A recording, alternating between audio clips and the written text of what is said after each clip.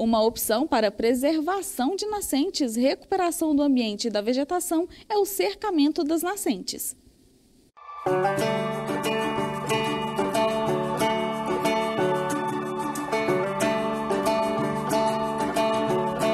O cercamento de nascentes é uma proteção dentro dos projetos de revitalização hidroambiental de microbacias.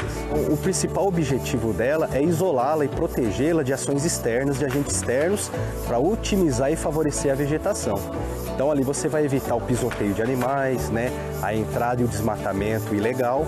Então você vai favorecer que aquela vegetação nativa que foi suprimida muitas vezes, ela revigore, volte a crescer para voltar a cumprir o seu papel, que é amortecer o impacto da chuva e aumentar a infiltração de água no solo, né, carregando assim um lençol freático que vai trazer como consequência o abastecimento das nascentes. Então a água da chuva antes do cercamento, ela batia no solo, causava erosão, trazia terra assoreando toda a nascente e o córrego aqui embaixo e não infiltrava, diminuindo a vazão assim da qualidade e a quantidade da nascente. A nascente da minha propriedade está cercada desde o meio do ano de 2020. Temos sofrido bastante com a, a falta de chuvas.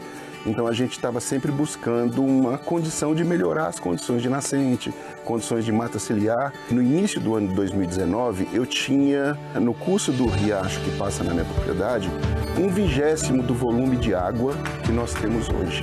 Então foi muito significativa a mudança depois do cercamento. A gente tem uma verificação visual da reposição vegetal na área que foi cercada. Então, como a gente tem uma área de semiárido, quando você isola, a natureza realmente agradece e recompõe.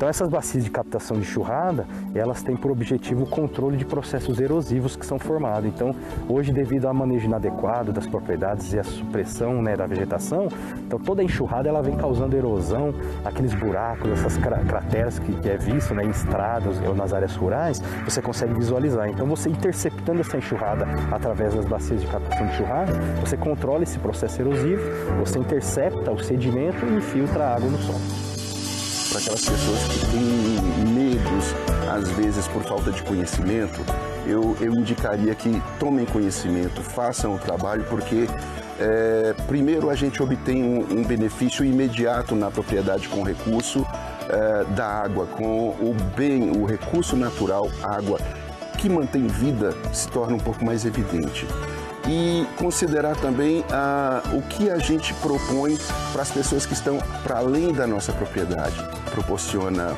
ah, projetos de irrigação, consumo humano, consumo animal. Então, sim, para aquelas pessoas que têm algum receio, façam.